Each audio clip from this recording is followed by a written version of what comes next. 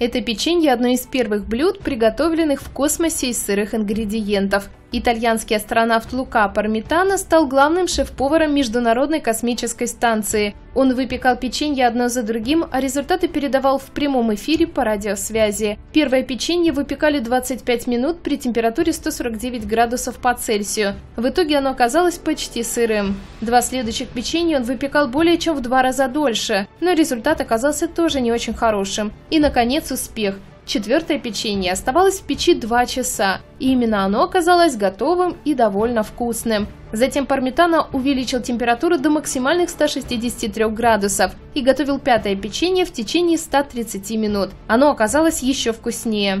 Для приготовления использовали печь Zero G. Ее разработала компания Nanarax, расположенная недалеко от космического центра имени Линдона Джонсона, близ Хьюстона. Печь доставили на МКС в ноябре.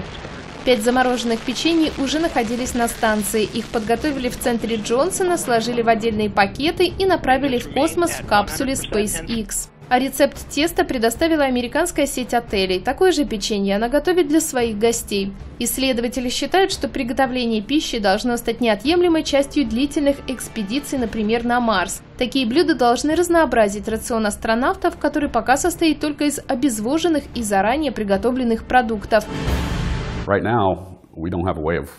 Сегодня мы в космосе не готовим. Мы привозим обезвоженную упакованную еду, добавляем в нее воду и кладем в микроволновку, чтобы приготовить. Но в будущем мы захотим есть в космосе свежие овощи, выращивать еду там.